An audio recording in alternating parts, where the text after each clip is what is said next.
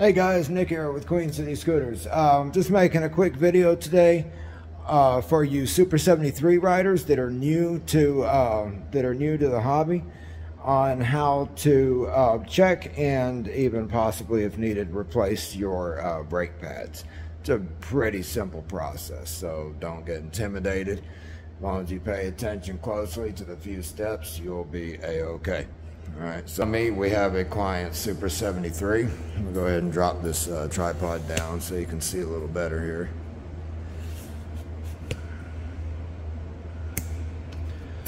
All right, so customer actually isn't even sure whether they need new brakes. Um, claims he has about 600 miles on it, I think he said.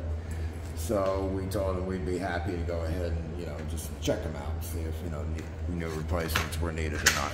So we have our uh, our uh, certified Tektro uh, brake pads here, just in case they're needed.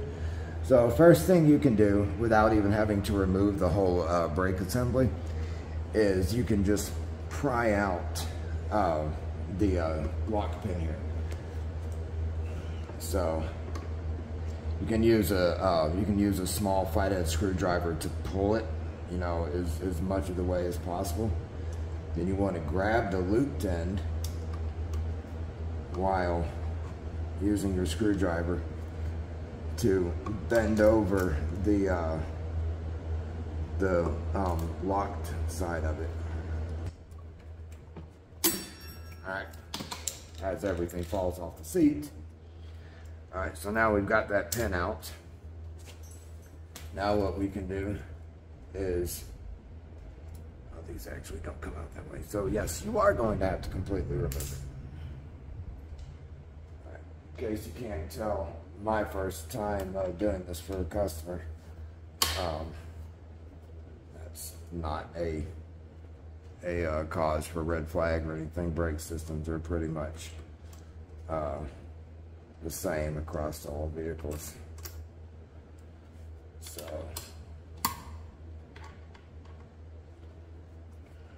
Go ahead and loosen the brake mount bolts. After you get a couple turns in them, you should just be able to undo it the rest of the way by hand. Alright. Just lost the spacer washer. I'll have to find that in a second. Okay, so now that we've taken that safety pin out, we can actually push the brakes straight out.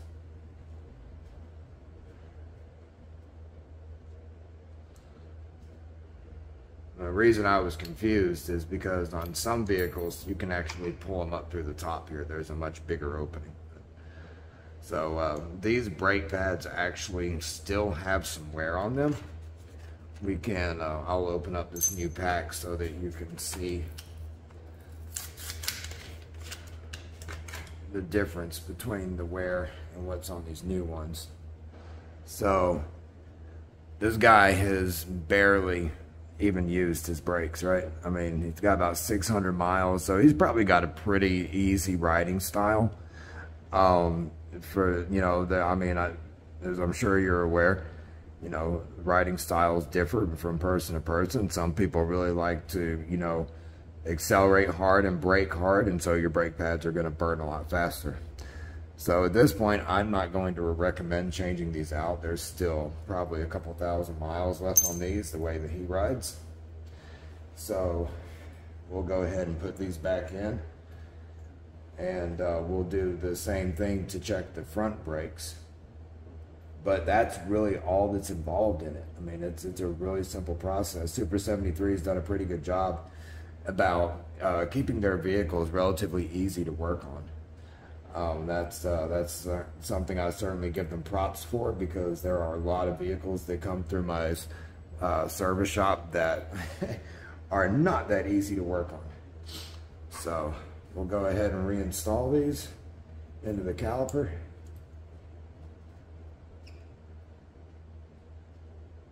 Always easier said than done. Always.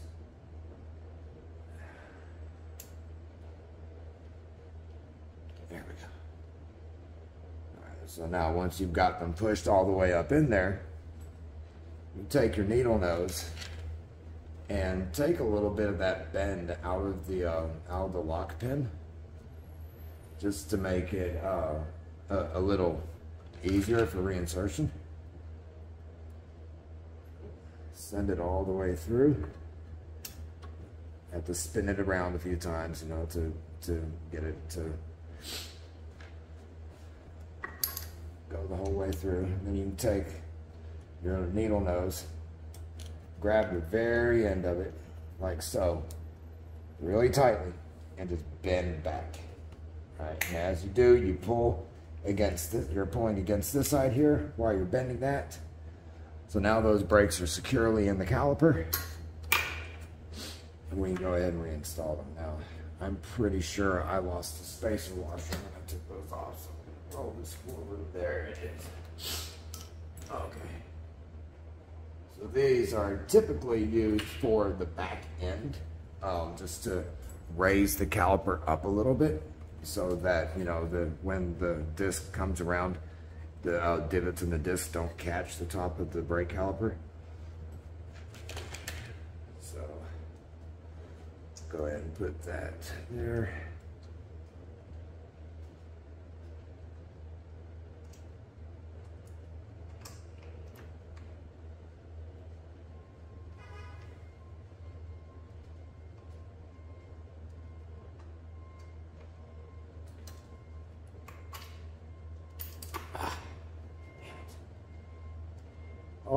Always easier said than done. I, I love my business, but there's certainly something to be said for having your patience tried. It happens on a regular basis. So I'm not going to tighten these down all the way because as I'll show you in a second, you're going to want to be able to make an adjustment there um, for uh, the uh, wheel rotation so that it's not constantly rubbing up against the uh, brake disc.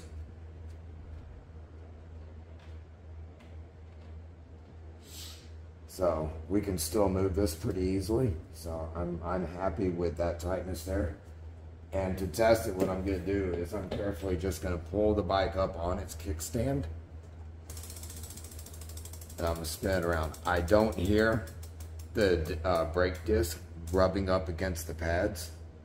So while holding the, the uh, brake caliper down, I'm gonna start tightening the screws. Now you see it just shifted there. We don't want that. Test it again. Okay. Still have good clearance.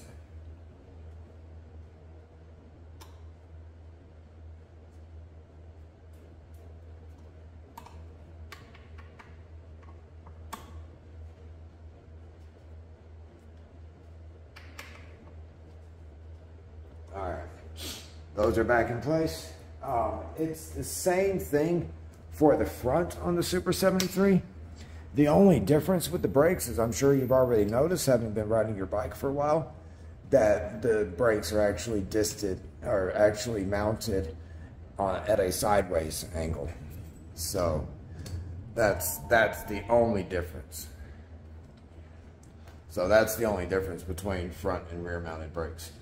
So uh, the customer just wanted us to look over this uh, bike. I mean, now I have friends. I, I ride in a pack every, and I have friends that have thousands and thousands of miles on their Super 73s. In fact, I think I have one guy. Um, what did he tell me? It's like approaching like 25,000 miles I mean, something ridiculous. I mean, he just, I mean, he is avid rider. In fact, I asked him if he had quit his job and all he did was ride ride his bike around. I'm like, how the hell you put 25,000 miles on a Super 73? I was like, damn. So, anyways, um, other things uh, just to kind of check out when you're wanting to give your bike a health check. Um, you can go ahead and stand in front of, and you, and you will have noticed if there was an issue here just by kind of uh, you know, just by the way they rode. But if you if you want to test your suspension out, just kind of, yeah, I need that the camera focus. You just kind of standing in front of the bike, you push up and down on, on it, you know, as long as there's good resistance there, the suspension's good. Um, you want to, uh, another thing you want to check is the condition of your chain. All right, so, I mean, this chain looks very healthy when I run my fingers over it. I don't get a lot of grime off of it, so that's good.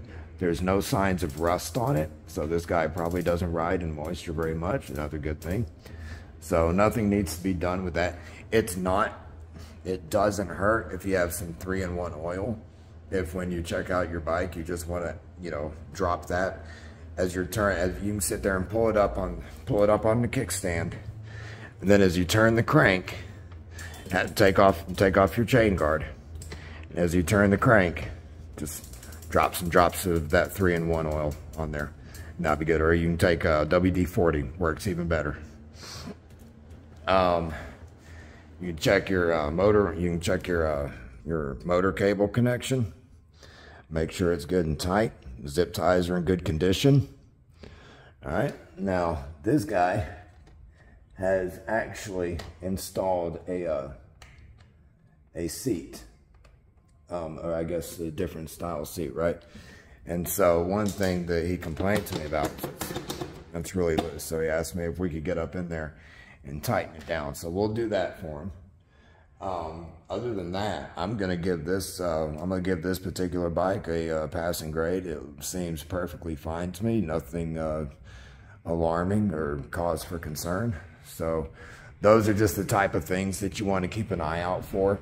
You can also uh, make sure that all your weather caps are on your plug and play connectors that aren't used. All right, so I mean that, that's another thing that Super 73 is good about is providing these um, these weather caps. Um, so make sure all your connections are firm.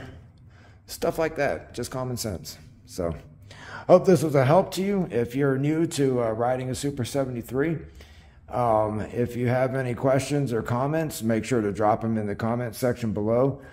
Um, can subscribe button, click the uh, bell icon so that you get a reminder whenever we come out with a new video.